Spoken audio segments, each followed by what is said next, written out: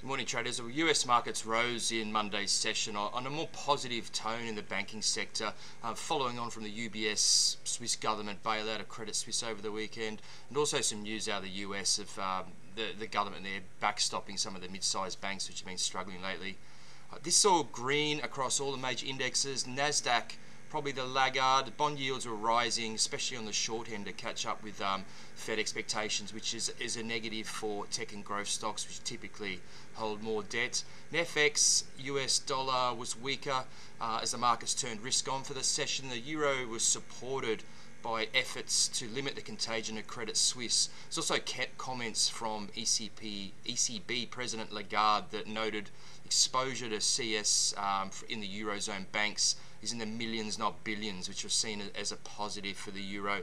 Um, saw the euro US dollar up above 107. It's testing its March highs up there.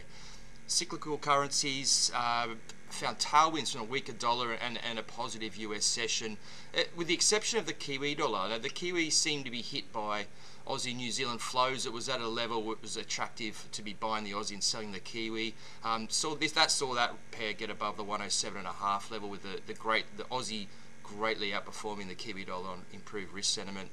Uh, gold, uh, another roller coaster ride on that one last night. So the, it rallied above 2,000 briefly, um, which was a 12 month high, but did retrace as the session went on on improved risk sentiment. I've got a feeling it'll, it'll find it tough going above the 2,000 level, but we'll see how um, risk sentiment goes over the next week or so to get an idea of where gold's going.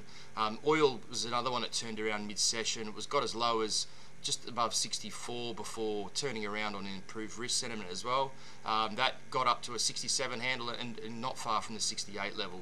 Now, upcoming tonight, if you're a Canadian dollar trader, there is Canadian CPI where a moderation in inflation is expected. Um, so if you are trading the CAD, keep an eye on that one.